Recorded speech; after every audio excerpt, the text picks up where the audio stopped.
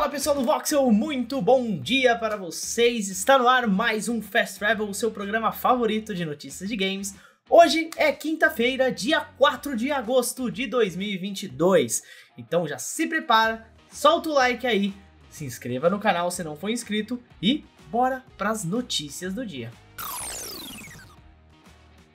Bom pessoal, e parece que um jogo mobile no mundo de Warcraft que estava sendo produzido pela Activision e também, Activision Blizzard, obviamente, e também pela NetEase, foi cancelado, foi desistido da ideia. Segundo a matéria da Bloomberg, um jogo no mundo de World of Warcraft estava sendo produzido já fazia três anos. Porém, de acordo com algumas fontes, as duas companhias estavam meio que assim, não entrando num acordo financeiro e finalmente resolveram cancelar o game. A equipe tinha mais de 100 desenvolvedores e foi desfeita. Alguns deles foram transferidos internamente. Nenhum porta-voz, nem da NetEase e nem da Activision Blizzard, quis comentar o ocorrido. O jogo cancelado tinha um nome de projeto como Netuno, e de acordo com a Bloomberg, era um MMORPG no mundo de World of Warcraft. Porém, se passaria em um tempo diferente. Bom, gente, é isso aí, um jogo mobile aí no mundo de World of Warcraft, o que, que, vocês acham? Vocês acham que ia ser legal, que ia fazer sucesso? Bom, comentem aqui, mas infelizmente parece que esse jogo não vai ver a luz do dia, né? É engraçado que a Activision Blizzard e a NetEase trabalharam juntos em Diablo Immortals, e deu certo, né? Pelo menos vem dando certo. Bom, comentem aí e bora para a próxima notícia. E olha só, Dead by Daylight está chegando novamente com um conteúdo especial de Resident Evil, dessa vez baseado no Projeto W. Sim, meus amigos, o Wesker vem aí. A franquia Resident Evil já fez a aparição no jogo de terror multiplayer Dead by Daylight. Da vez passada foi com o Nemesis, né?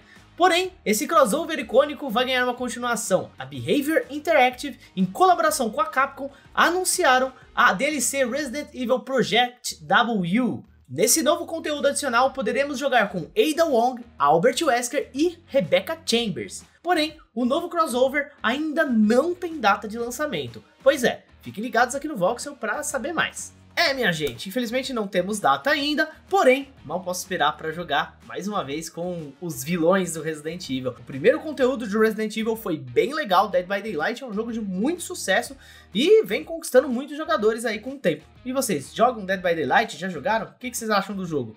E a colaboração com Resident Evil? Comente aí e bora para a próxima notícia. Bom, minha gente, essa próxima notícia vai deixar alguns fãs de cabelo em pé.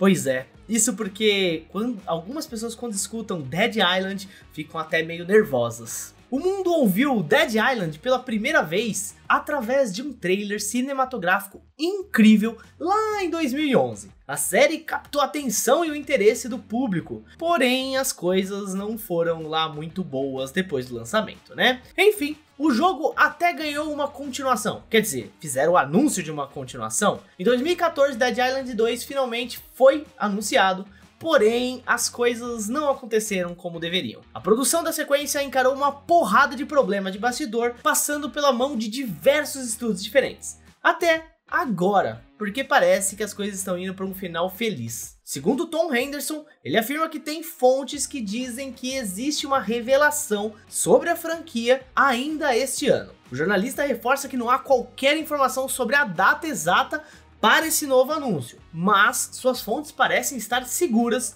de ver o jogo no evento da The Game Awards no final deste ano. No seu site, o Insider diz que Dead Island 2 vai ter foco na jogabilidade cooperativa com 5 ou 6 novos personagens sendo apresentados no game. Henderson também diz que várias fontes afirmam que o jogo está em estado decente de desenvolvimento, além de que a trama deve se desenrolar em diversos locais, como Hollywood e São Francisco, nos Estados Unidos. É, minha gente, e aí, será que agora vai?